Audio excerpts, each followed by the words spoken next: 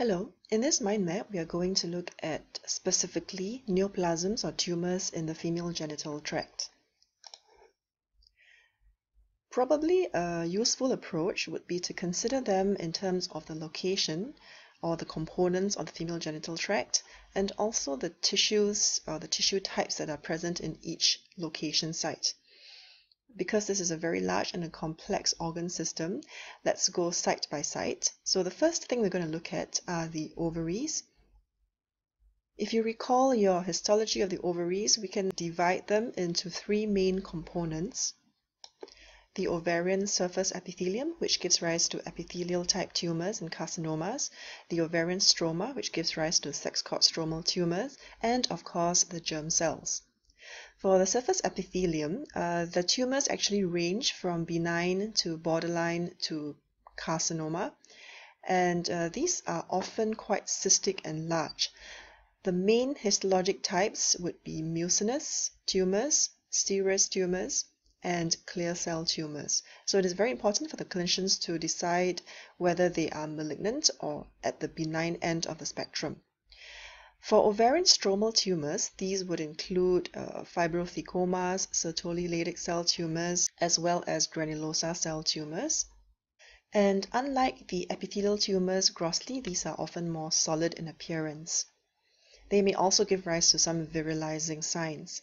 Now, for germ cell tumors, uh, one is the teratoma, which is again often cystic, similar to epithelial tumors.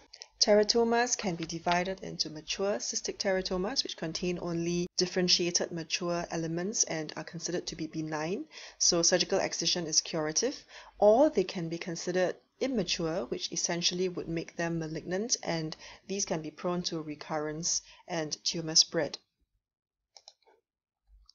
We also have the dysgerminoma, which is essentially equivalent to the seminoma seen in males in uh, testicular tumors. And another type of germ cell tumor would be the yolk sac tumor. And we can also have embryonal carcinomas and finally choriocarcinomas. Choriocarcinomas can also occur in the uterus as part of gestational trophoblastic disease. So among the germ cell tumors, uh, most of them are actually malignant except for the mature cystic teratoma. Also, one mustn't forget the possibility of uh, METS or metastatic carcinoma going to the ovaries. Classically, we have the Krukenberg tumor, which is metastatic gastric adenoca. This often affects both ovaries, giving rise to bilateral enlargement, and again, it's usually solid in gross appearance. The next site we're going to look at is the uterus, and here I'm outlining for you the endometrium. So this is a very large and important component of the uterus, which gives rise to epithelial tumors. It's a glandular lining. So let's start by looking at endometrial tumors. These would be endometrial carcinomas if malignant, and sometimes they can be preceded by a premalignant phase of endometrial hyperplasia. There are two main types of endometrial carcinomas, type 1 and type 2, with different uh, risk factors, different epidemiology, and different histology and prognosis as well. Uh, usually endometrial hyperplasia precedes type 1 endometrial carcinoma. Now, the myometrium is also another potential source for neoplasms, and we know that this is composed primarily of smooth muscle tissue. So the main uh, tumors that arise here would be smooth muscle in origin. Most often they would be benign. These are very, very common tumors known as leiomyomas or in the layman term as fibroids, and the malignant counterparts would be called leiomyosarcoma. The next main section is the uterine cervix. Again, it's very important to know the normal histology of the cervix because then you can work out the tumors that arise here. So tissue type is important. The ectocervix is lined by stratified squamous epithelium and this is more on the outer part of the uterine cervix and therefore this gives rise to squamous cell carcinoma. So it is important to take note of the progression. Uh, usually squamous cell carcinomas do not just arise suddenly. There is often a progression from premalignant cervical intraepithelial neoplasia to carcinoma in situ. And then finally, when the basement membrane is invaded, it becomes invasive squamous cell carcinoma.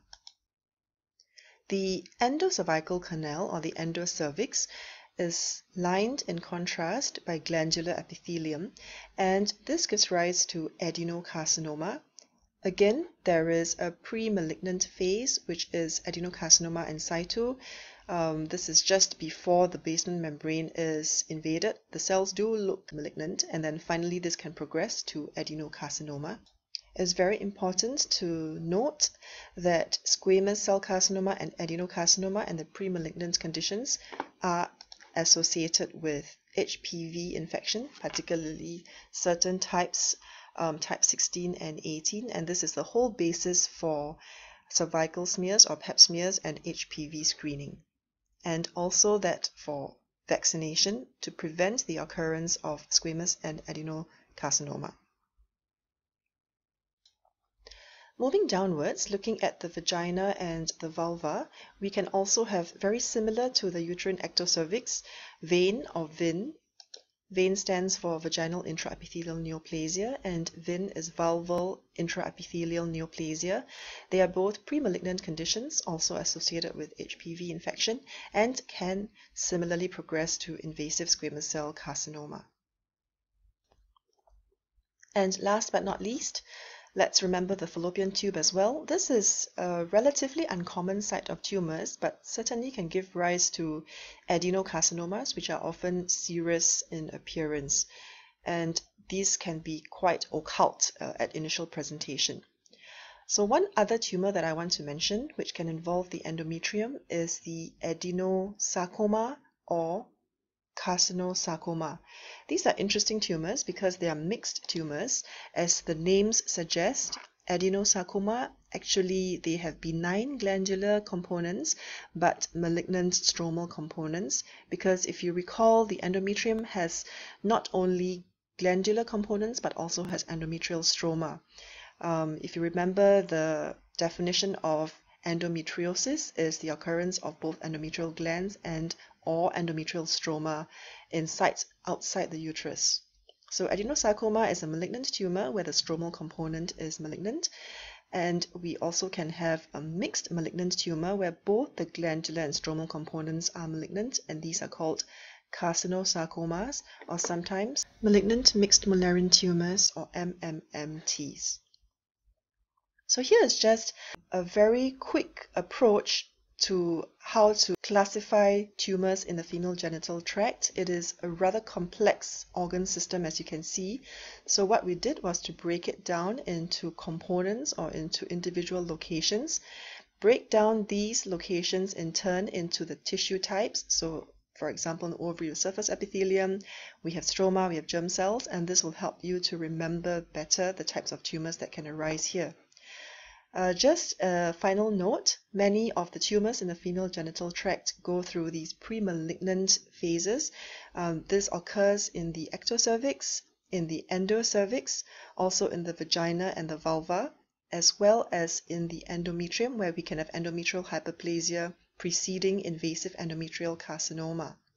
And also in the ovarian tumors, we can have a range of benign neoplasms we have the borderline ones, which are sort of progressing and look a little bit worse, but are not yet invasive, and then all the way to invasive carcinoma involving the ovaries.